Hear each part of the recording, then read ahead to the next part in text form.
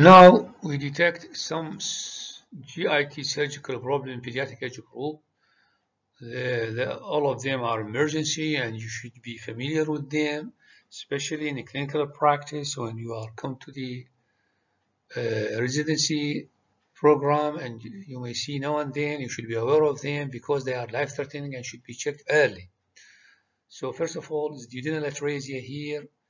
You uh, see there is the duodenum is atretic. The incidence is 1 in 10,000 and account for 60% of duodenal atresia in the West.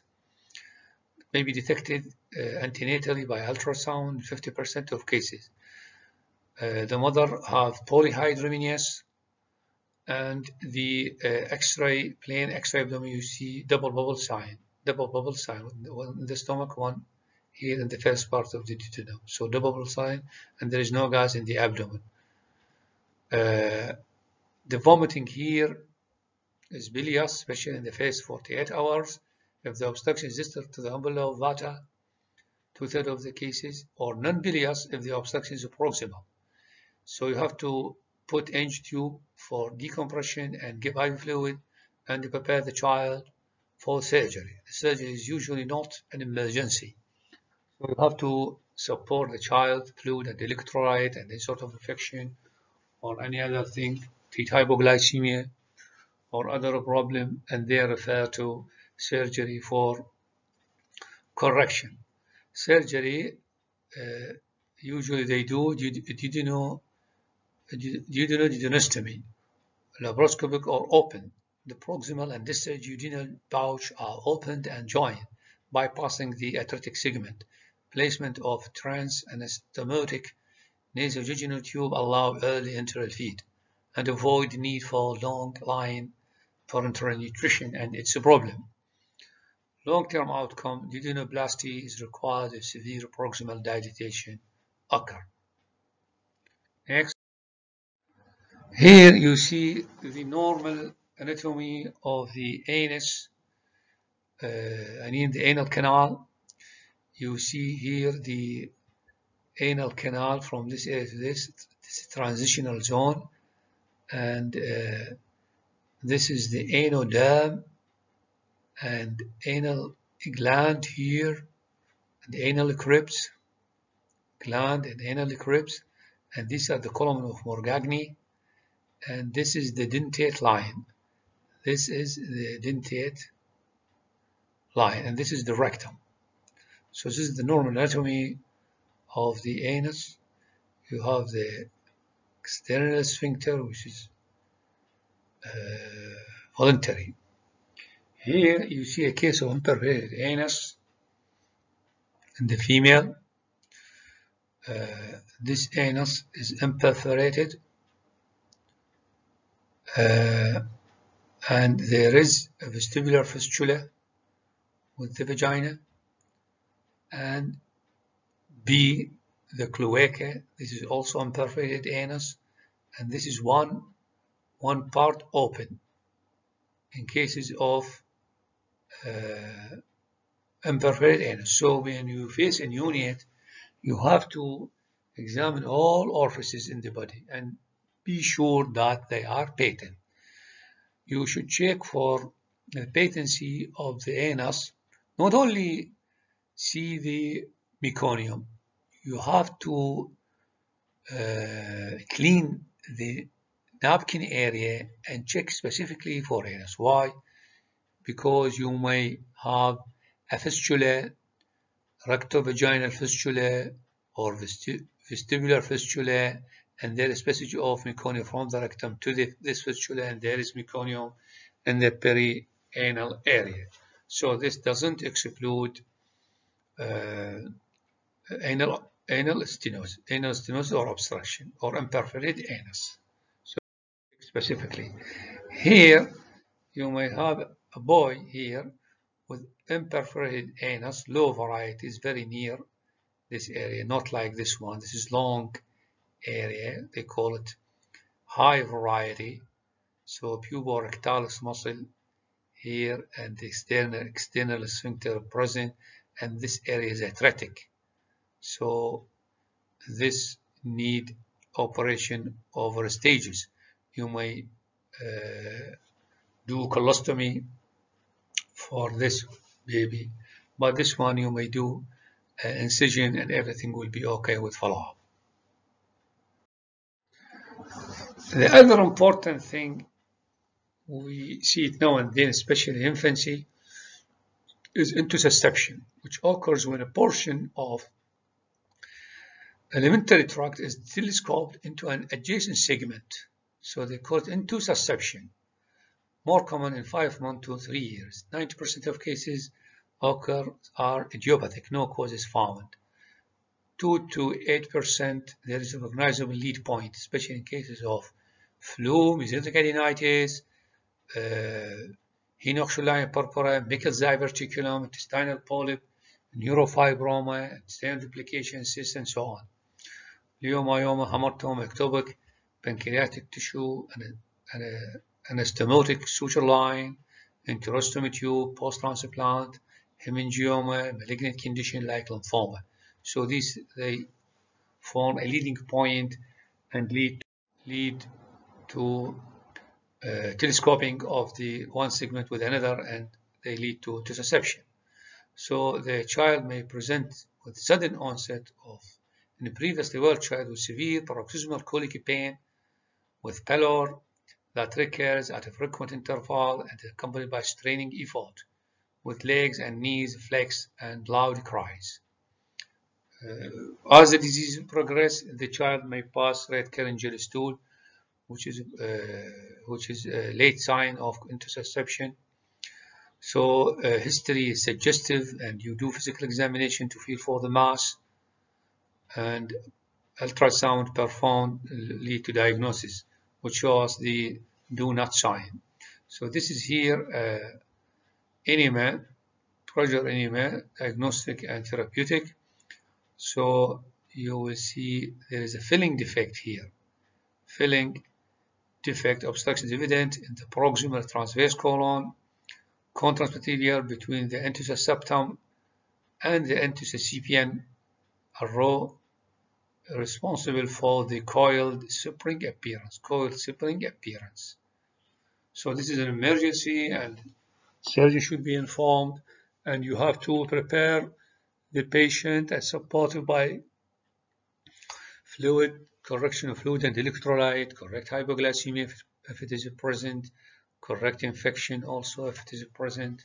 So refer to the surgery for the correction, either reduction or resection. It depends on the state of the bowel at the time of operation. So early referral, you save the child. The other problem is Hirschsprung disease, which is a congenital aganglionosis of the distal colon extending proximally from the rectum. Hirschsprung disease affects the rectosigmoid rectosigmoid only short, short segment, in a short segment maybe. 25% of cases aganglionosis extend more proximally. Total colonic aganglionosis may occur in 10% of the cases, but short segment is more common between sigmoid and rectum, rectosigmoid junction. Classically triad of neonatal bilious vomiting, abdominal distension, and delayed passage of meconium more than 48 hours. So these should be kept in mind. The child or the neonate may have Hirschsprung disease. So it is uh, suspected clinically. Diagnosis by suction biopsy and there is no need for preparation of the child. Can be performed in the unit without general anesthesia. Open biopsy the GA is required in older infant and children. Diagnosis, confirmed by histologic confirmation of absent ganglion cells by eosine and hematoxylin stain with hypertrophic nerve trunks on acetylcholinesterase staining. Calretinin staining absent in when you use this stain it is absent in Hirschsprung disease and may be supportive. Contrast enema may demonstrate transitional zone like this one. This is dilatation proximally and this is narrowing here. So surgical treatment is excision of the atretic or aganglionic segment and coloanal anastomosis, pull-through of proximal normally innervated colon. Initial management is directed at nasogastric decompression, rectal washout, up to three times per day. Retained volume should be less than 20 ml per kg saline. So you have to suspect this problem in any child who has, it may present later on, not only in the neonatal period, may present at any other age. Delayed depending on its severity. So constipation early in the neonatal period will raise suspicion of Hirschsprung disease or other problem in the GIT. The other problem is pyloric stenosis. Non-bilious projectile vomiting is the whole or the initial symptom of the pyloric stenosis, congenital pyloric stenosis. Start after three weeks of age, but symptom can develop as early as the first week, depend on the severity, as late as fifth week of fifth month of age.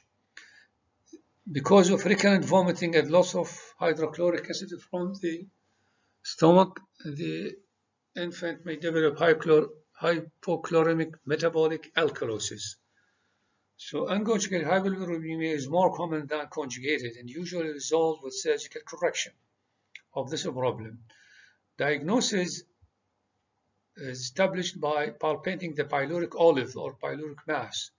Firm, movable, approximately 2 cm in length, olive shape, hard, best palpated from the left side and located above and to the right of the umbilicus, like this one.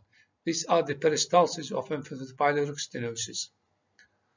In the mid-epigastric region, beneath the liver edge, ultrasound confirms the diagnosis, shows the elongation and thickening of the pyloric canal. So you do test feed, we call it test feed, because the child after after uh, vomiting is hunger. So let him take the his uh, feed and then peristalsis will be visible because the emptying of the stomach is, uh, is difficult or hindered because of uh, this stenosis, you will feel the mass. Treatment is initially supportive, correct fluid and electrolyte, uh, and hypoglycemia, and then you prepare for surgery. Surgery is Ramstedt operation or pyloromyotomy. Pyloromyotomy, just uh, you do incision of the muscle and release the mucosa and everything will be okay. The child will start feed early.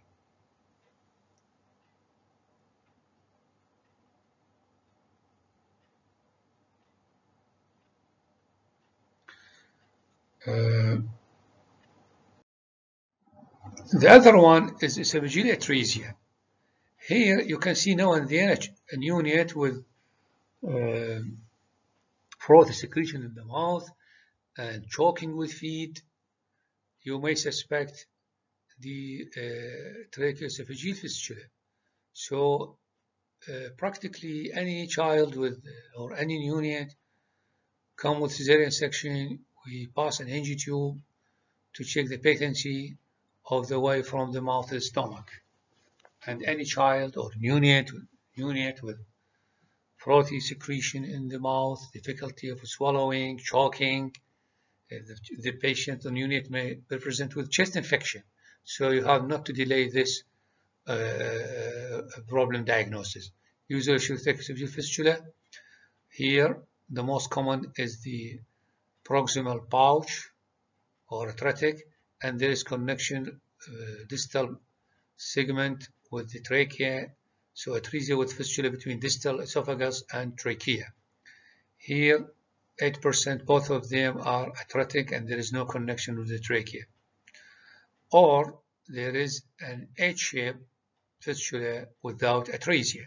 So the patient may present with recurrent chest infection.